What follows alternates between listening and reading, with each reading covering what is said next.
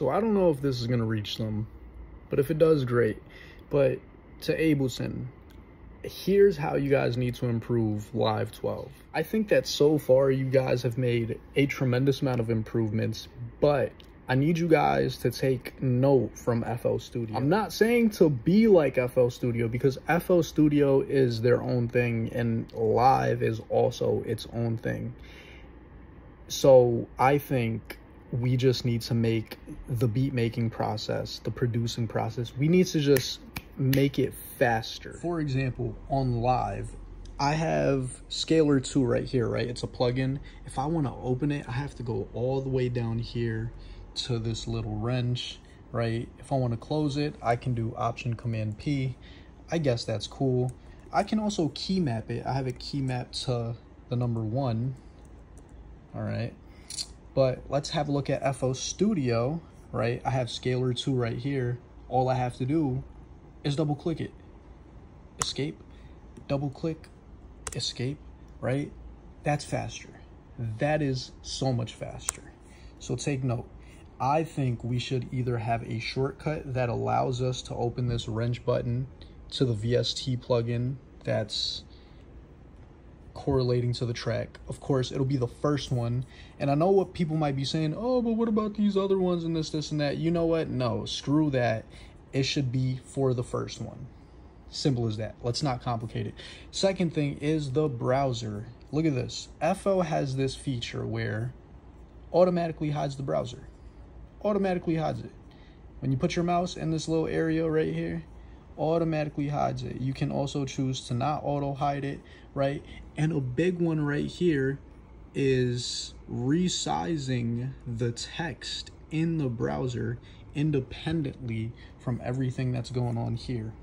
Now, with Live 12, right, I can't do that. I just can't. Look, look at this. If I want, if I'm on like 100%, mind you, I don't have the biggest Mac screen ever.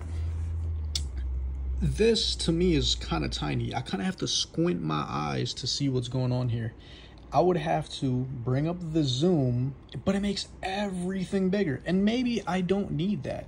Maybe I don't. Maybe I just need to make the text here bigger independently of everything else that's happening there. And also, this idea of constantly having to hit Option, Command, and, and B option command B to constantly open up the browser, that's not really, you know, it's it's it's it's a lot of clicking. It's it's, it's just a lot, all right? Make it easier for us. While I'm on the browser, allow us to have more colors here. I mean, look at this, right? Look at this. Look how many colors we have there. Look how many colors I can make on the track. I can make that pretty much any color I want. You mean to tell me I can't add another color here? I can't I can't add another color to edit. I can't add another color to my collection. Like what? Listen, like I said, I think live is amazing in so many ways that FL isn't. All right, when it comes to audio manipulation, how fast that is, how seamless that is, live is great.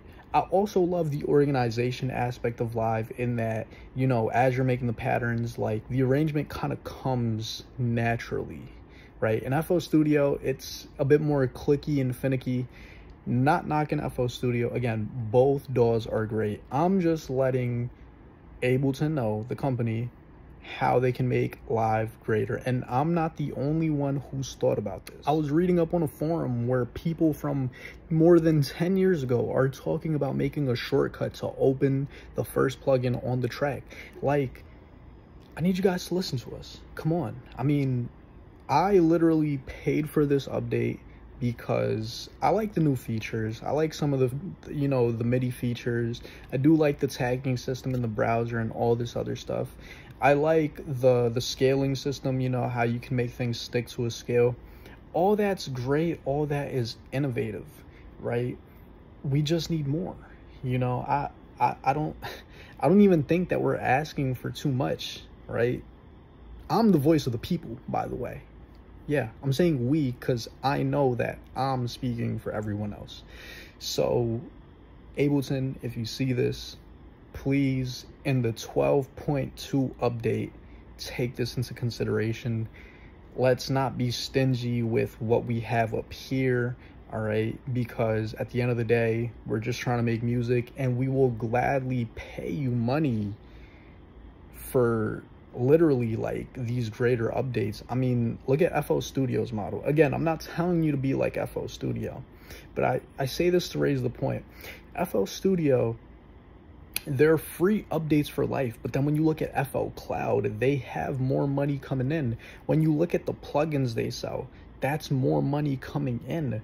Like, you know, you don't need to be stingy with the things that you put out in updates in order to make more money. I truly disagree with that. If anything, you're going to make people reluctant to either A, join you, or B, to continue on with you. It's actually making the long-term bag, like, slip through your hands. But what do I know, right? I, I just I just make music, right? I just I, I literally interact with your software like every freaking day.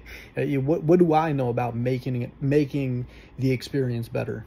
I'm being sarcastic. But listen, again, if a developer from Ableton sees this, it's all love. I just want to see your creation be the best it can be. So ciao. And I was just about to finish making this video, but as I was editing and looking back, I mean, again, let's look at live. Don't Dude. tell me it's not possible to do what I asked for. Look at all this empty space, bro. Look at, I don't use this. If I'm being honest, I just, I never use this. I don't know what it's for. I don't really care. I might care at some point in the future, but this does not need that much real estate. Look at how much real estate there is here. You could have a wrench up here. Like you could have some stuff here. You could maybe remove this, right? Again, key mapping is an option, but if I'm being honest, I only have so many keys. Seriously.